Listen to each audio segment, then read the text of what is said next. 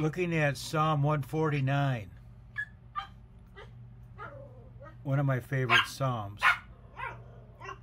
Praise ye the Lord, sing unto the Lord a new song, and his praise in the congregation of the saints. It's just a little bit difficult to find that congregation these days, isn't it? Let Israel rejoice in him that made him. Let the children of Zion be joyful in their king. Let them praise his name in the dance. Let them sing praises unto him with the timbrel and harp.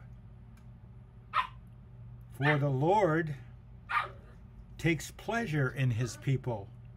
He will beautify the meek with salvation.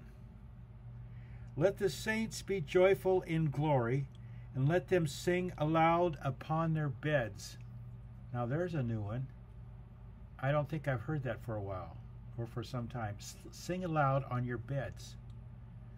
Let the high praises of God be in their mouth, and a two edged sword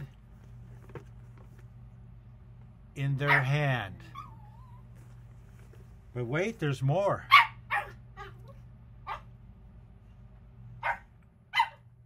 To execute vengeance upon the heathen and punishments upon the people, to bind their kings with chains and their nobles with fetters of iron, to execute upon them the judgment written. Now, wait for this one. This honor have all his saints.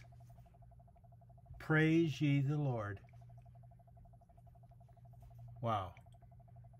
May God bless everyone that hears this word in Jesus' name. Amen.